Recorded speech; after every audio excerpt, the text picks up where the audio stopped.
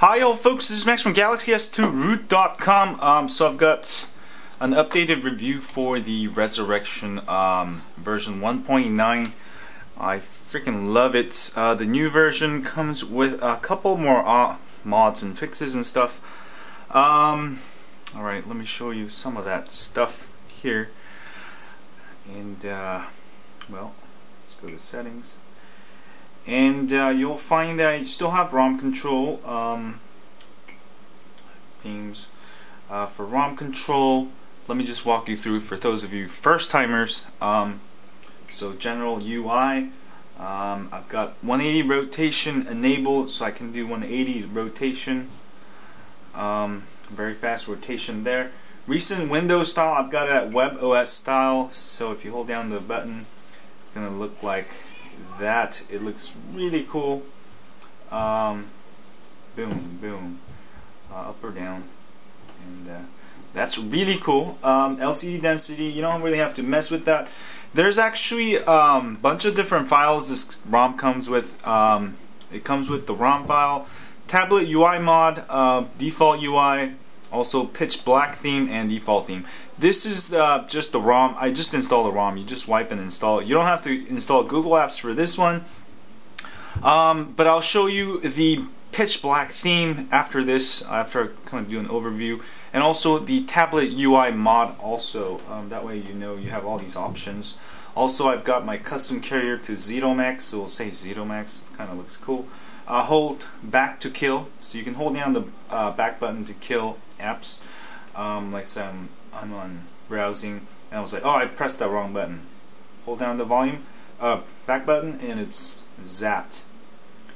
And you can switch back to the settings here. And uh, rotation delay this will um, allow you to not wait that long before changing so I've set it up to 10 milliseconds so it rotates very quickly. Whoop. I keep pressing buttons. There we go. Pretty darn fast. Um, in the navigation bar. If you want uh, three extra bottom bars you can you can add it here enable it. I don't need it. Lock screen options is great. Um, you can choose lock screen wallpaper um, lock screen style. If you want to launch four four apps go for quad. If you want eight apps um, go for octo. And also you can enable lock screen battery percentage uh, lock screen weather um, you can enable your calendar from your Gmail or any other calendar sources. Um, you can choose the calendar sources um, and also multiple events. Enable fast torch. I showed you that last time. Um, you can hold down the power button at any time while your phone's turned off and it turns into a um, fast torch. And you can set all your apps that you want to launch from the launcher from there. I only got like two or three apps on there but you can mess with that even more uh, weather you have to enable this for the weather to actually work um, custom location let's do uh, San Francisco alright and then we should be able to get um, weather. Where's my weather? No, not showing up yet. Um, okay, let's turn that to one minute. Maybe it's not. Um, not showing. Alright, we'll see it in, in a bit. Um, and also power saver, all these things. Performance. Now it comes with Siyah kernel, which means you can you don't have to install it separately. Um, I've got it at 1.6 gigahertz. I like SmartassV2 the best. I was using Lulz Active before, but it, you can play with it. But SmartassV2 should be pretty good. Minimum CPU, um, you can set this a little bit higher uh, if you feel any lag. Um, but I haven't felt any lag, and I'm running pretty fine, so I'm going to set it at boot. But if you please test it first before you set it at 1.6. Um, some phones cannot handle it, and if you set it at boot, you might end up in a boot loop you don't want that free memory um, you can set it to the maximum and also set it at boot scrolling cache um, you can improve performance by force enable uh, fast charge if you enable this um, you'll be able to connect to your USB via computer and charge faster um, but you have to unclick this if you want to use your phone as a USB disk drive so color multi uh, tuning kind of cool. Change the colors a little bit if you want. but I'm not going to do that here. And uh, startup tweaks. So that's the ROM control. So what has been changed from 1.8.1 for those of you coming from the previous versions? Um, you'll see that you have EX tweaks, which is pretty cool.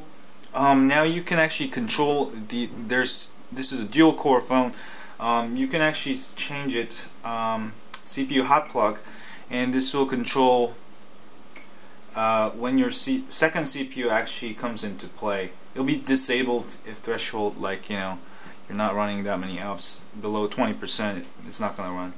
Um, all, and also if you want super, you know, if you want really good. Eh, if, if you want to use full power, you can always have second core on. If you want to save battery, you can always have it as off. I mean, just another option you can play with, and there's a bunch of different options. And also for GPU, you can overclock your GPU, I think, here. First lowest, um, second step, third step. So I'm going to get the third step, which is the highest.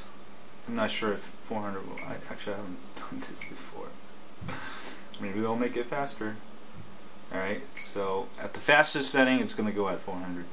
Um, screen, BLN, uh, backlog notifications. Um, that's cool. It'll give you uh, notifications when your phone is turned off and you get an email or you get a tweet or whatever. Um, so those these are really cool options here. There's another MISC stuff. So you do get the external tweaks. Um, a lot of been people when complaining you can't read the SD card internal. It works fine now. Um, I don't know what it was before. It was far, uh, working fine for me for version 8.1, uh, 1.8.12. Comes with the Flipboard app. Um, if you want it, you know. So I don't, I don't know. I haven't used this. You can flip, I guess. I'm just reviewing ROMs, not apps right now. Um, so that's about it. It's pretty good stuff. Um, let me go ahead and, and show you installing the um, the tablet UI. Just copy all the files into directory in your SD card or internal storage. That way you can always you know do all the mods. So I'm gonna reboot into recovery, or you can hold down the volume up center and the power button together let's go install the black pitch theme and see what what that makes it. Um, so your phone should reboot and you got the Siyah kernel. Uh, install zip from SD card. Choose zip from SD card or internal depending on where you put the files to. I put it in my download directory called this RESU directory. That's where I put all the 1.9 files. Oops. Yeah. And uh, see you can um, enable tablet mode by flashing that and also disable it uh, flashing the default um, I'm gonna install the remix ICS pitch black yes yeah uh, pitch black theme that's actually the theme so install it and then it will give us uh, black pitch theme. And uh, we'll also try the tablet mode and put it back. And that's it. And reboot and we should have the black pitch theme um, which I'm looking forward to. And let me pause this video and I'll be right back when it boots up completely so I got to reboot it and now you can see the weather widget working now that's awesome um, it wasn't working before but now it is and uh, this is the black pitch theme. So what's different about it? Hmm? Not sure. Um, doesn't look entirely too different to me. I don't know why. Oh, I'm an idiot. You have to actually go to settings and change it. Um, go to settings, themes, I think. Current, no? What is the thing. Okay. Um, let me see if there's anything changed here. Okay, I'm not sure. Maybe I'm doing something wrong. Um, let's let's go reboot into recovery and let's try the tablet mode real quick. And I'll be back when it's in recovery. You know what might have happened? Um, actually, that that the latest version does ship with the pitch black theme. So, um, install zip from SD card. Choose zip from SD card. Let me go install the other one. Um, the tablet UI mode right there. And let's try the tablet mode real quick. Just take a second, go back, and reboot. And I'll be back when this is completely reboot. Actually, let me show you um, the startup screen. It's kind of cool. I've got a dual booted. I've got actually Resurrection 1.8.1 running on my other side, and my primary is the 1.9. Um, that way you can try both, you know, and then when you know when you feel like you're comfortable, you can copy the uh, first ROM to the second ROM, and then you can use the main ROM for something else. So that's that's the that's the boot up screen. For those of you who haven't seen it before, I just wanted to show you that it looks kind of cool. So I'll be back when this boots up. Well, while this is booting up, uh, let me give you a list of things that were changed. Um, version 1.9 comes with Siyah kernel. I mentioned that earlier. Also, it comes with uh, Dre, Dr. Dre's Beats audio, um, light sensor issue fixed, Wi-Fi channel issue fixed, video editor app fixed, uh, CM9 theme chooser added, wallpaper chooser added, um, Nova launcher added, and also uh, framework resurrection eh, something faster MTP files transfer. Um, yeah, I noticed that on some ROMs that your MTP files transfer really slows down, but with this one you shouldn't have any problems. Um, Google Apps is included now. Um, sorry, this this is the pitch black theme. You're supposed to uh, flash the default theme if you want kind of a um, you the other stuff. Um, tablet UI and uh, default UI. So this is the tablet UI zip I just flashed. So now I have um, tablet mode. I don't really like it that much. I like it on my Galaxy Note, just I feel like on my Galaxy S2 its screen's too small. But the icons there, you can fix it easily by going to Apex settings and changing the number of drawers. Uh, number of, change the grid size. Portrait grid. So you can change this number, I think it's 6 by 6 for tablet or something like that. You can play with it. Um, let's see what that looks like. So yeah, so now it kind of looks right there. And uh, yeah, I think that's about right.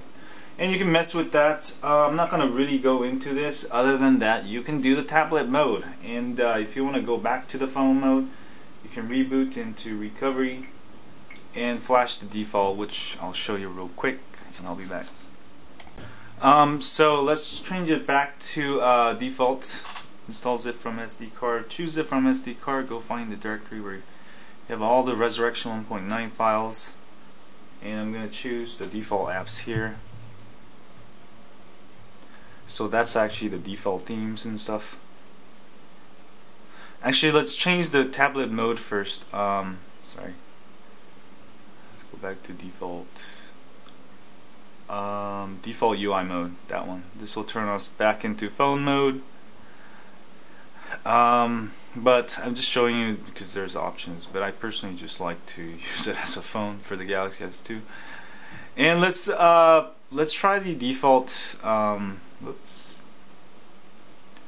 Default apps for this is the default theme and now we've tried everything you can do with the Resurrection Remix ROM um, so there's a lot of combinations you can do but I do like the um, I do like the black pitch theme that it comes with. Reboot system now, but if you don't like it, you can flash that default theme.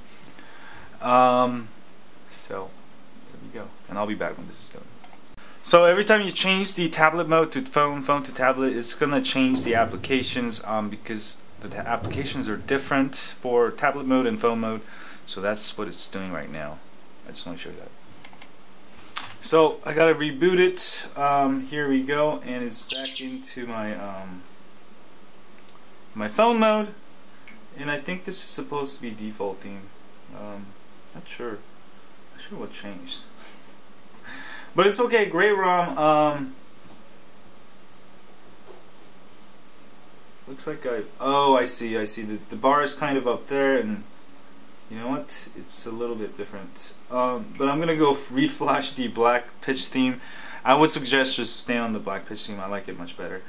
Um, anyway, that was an overview of the best ROM you can ICS ROM you can get. I think for your Galaxy S2 i9100. Um, it's been refined. Um, everything's kind of gotten better over time, and I think 1.91 is or 1.9 is probably the best um, ICS ROM right now. And uh, Omega ICS AOKP is also good um, that I've tried. And uh, you know, most a lot a lot of the ROMs are actually all pretty good. Um, just I, I I really I really have been liking this one because I've been using it a lot. And if you go to XDA, you'll find that this has actually the more, most hits, 4 million hits for Resurrection ICS. So it's not just my opinion. Uh, overall, I think this is one of probably the best ROM for your i9 i9100.